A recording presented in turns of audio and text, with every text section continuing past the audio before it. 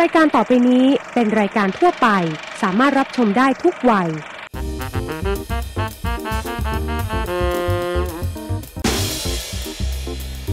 ผ้ากันเปื้อนพร้อมแล้วค่ะ รายการมาดามตวงฟู้ดเซเลบรายการอาหารสร้างความสุขเสริมไอเดีย เสิร์ฟกันทุกวันจันทร์ถึงศุกร์5วัน 5 สไตล์ ตามแบบฉบับมาดามตวง จากการสั่งสมประสบการณ์ และรักในด้านการทำอาหารของมาดามตวง ที่มีมากกว่า 40 ปี จนเรียกได้ว่าอาหารได้กลายเป็นส่วนหนึ่งในชีวิตของมาดามตวง ทุกเมนู ทุกมิติในการทำอาหาร จะถูกนำมาถ่ายทอดให้กับคุณผู้ชม เพื่อสร้างแรงบันดาลใจในการเข้าครัวปรุงอาหารไปกับมาดามตวง food celeb อย่าลืมนะครับ สุขภาพที่ดี หาซื้อไม่ได้ แต่หาได้ง่ายๆ ในครัวของคุณเอง สนับสนุนโดย Rosemary by มาดามตวง อาหารและเบเกอรี่พรีเมียมสไตล์โฮมเมดสวัสดีค่ะ ขอต้อนรับเข้าสู่รายการมาดามตวงฟู้ดเซเลบรายการอาหารสร้างความสุขเสริมไอเดีย เสิร์ฟกันทุกวันจันทร์ถึงศุกร์5 วัน 5 สไตล์ ตามแบบฉบับมาดามตวงค่ะ และอย่าลืมนะคะคุณผู้ชมว่าเรามีนัดกันเวลา 11 โมงค่ะ ทุกวันจันทร์ถึงศุกร์ทางช่อง 9 m c o t HD หมายเลข 30 ค่ะ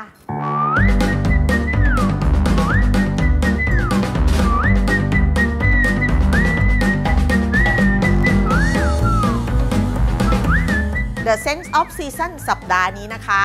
มาดามตวงขอนำเสนอเมนูที่ใช้วัตถุดิบที่เห็นได้เยอะๆ ตอนช่วงนี้ค่ะ นั่นคือ กล้วยไข่ค่ะ ในระหว่างเดือนกันยาถึงเดือนตุลาคมนะคะ เราจะต้องพูดถึงเจ้ากล้วยไข่กำแพงเพชรค่ะ เพราะว่าเป็นแหล่งกล้วยไข่ที่เรียกว่ามากมายมหาศาลค่ะ เขามีงานศาสตร์ไทยกล้วยไข่เมืองกำแพงค่ะ สร้างรายได้เนี่ยกว่าปีละ 100 ล้านบาทค่ะ และวันนี้มาดามตวงจะเอากล้วยไข่ค่ะ มานำเสนอในรูปของขนมไทยแสนอร่อย กล้วยไข่เชื่อมค่ะ ไปพบกันในครัวเลยค่ะ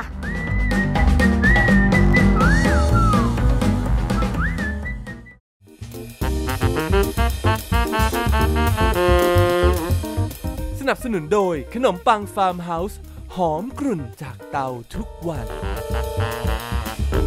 เมื่อปี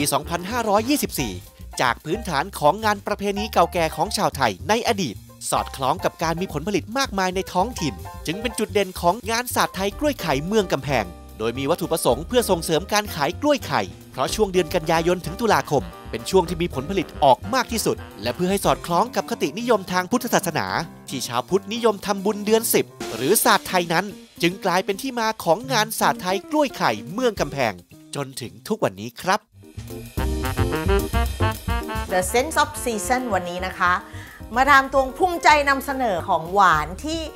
อร่อยมากมายนะคะ กล้วยไข่เชื่อมค่ะ ก็จะมีเจ้ากล้วยไข่ค่ะ เรียกว่าเอาสุกพอดีไม่สุกมากจนเกินไปนะคะ เราปอกกล้วยไข่โดยการที่ตัดหัวตัดท้ายแล้วก็กรีดปื๊ดแบบนี้ก็ปอกค่ะ เราจะแช่กล้วยไข่ของเราลงไปในน้ำมะนาวบีบลงไป เพราะว่ากล้วยไข่จะได้ไม่ดำค่ะถ้าพูดถึงกล้วยไข่นะคุณผู้ชมมันก็ต้องที่กำแพงเพชรเป็นของดีแหมใครปลูกกล้วยไข่นี่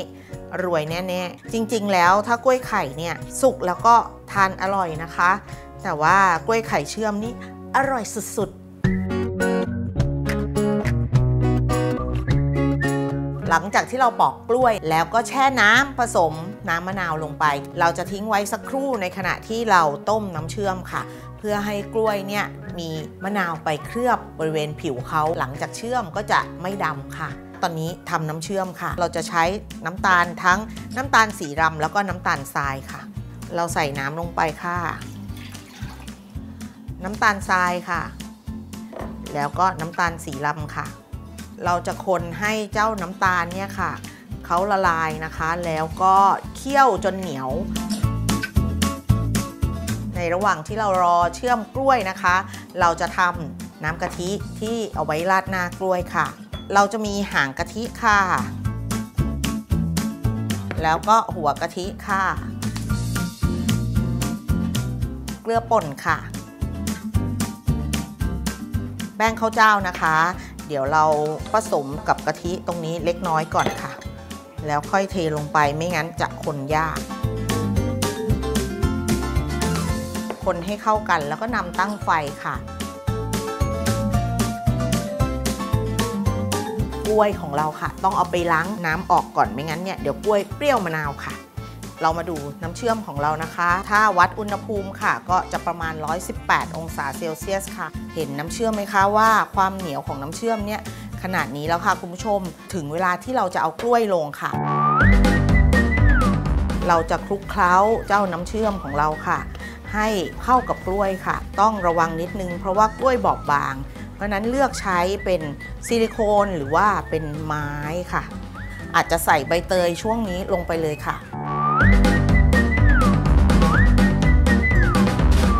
ทิ้งให้เขาเดือดค่ะ สักประมาณ 1 นาทีก็พอค่ะ เพราะว่ากล้วยสุกพอดีทานแล้วค่ะ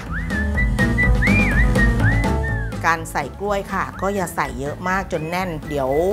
กล้วยเนี่ยมันก็ไม่ถึงน้ำเชื่อมก็ต้องคลุกเคล้าอย่างรุนแรงก็จะทำให้กล้วยเราช้ำ และหลังจากที่น้ำกะทิของเรานะคะ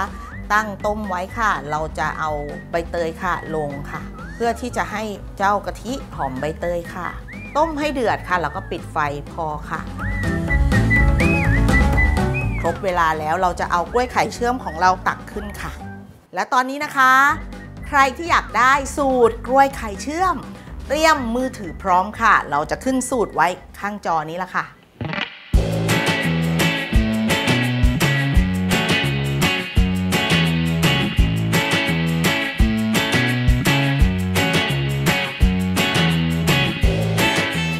นะคะ คุณผู้ชมอย่างที่เราทราบกันแล้วค่ะ ว่าประเทศไทยเนี่ยอุดมสมบูรณ์ด้วยผักและผลไม้ค่ะ เราเคยมีปรากฏการณ์ผลไม้ fever อย่างเช่นทุเรียนนะคะฟาร์มเฮาส์ค่ะ เขาออกขนมปังฮอทดอกไส้ครีมทุเรียนรสอัลมอนด์ค่ะ วันนี้มาดามตวงจะนำเสนอเมนู จ้าขนมปังฮอทดอกนี้ละค่ะ กับกล้วยไข่เชื่อมและไอศครีมค่ะ มาดามตวงจะหั่นชิ้นเล็กๆ แล้วก็เอาลงจี่กระทะค่ะ ให้ด้านล่างของเจ้าฮอทดอกค่ะมีความเกรียมค่ะ ในระหว่างนี้นะคะ เราเตรียมกล้วยไข่เชื่อมของเราค่ะ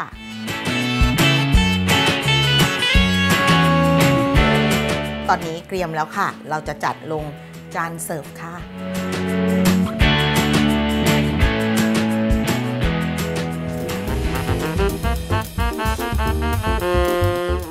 ไข่เชื่อมของเรานะคะ ราดน้ำกะทิค่าสุกกำลังดี แล้วก็เชื่อมกำลังพอเหมาะค่ะ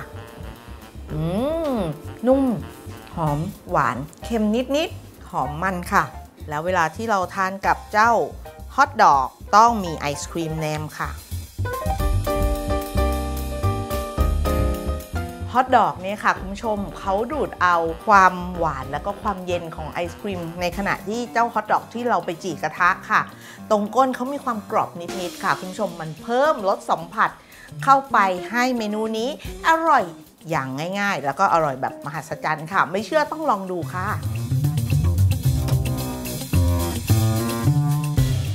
มอย่าลืมนะคะ ถ้าอยากได้สูตรหรือดูเมนูอื่นๆ เข้าไปที่ YouTube มาดามตวงทีวีค่ะ กด subscribe ค่ะ เพื่อที่จะไม่พลาดสักเมนูนะคะ แล้วอยากได้สูตรอะไรเพิ่มเติม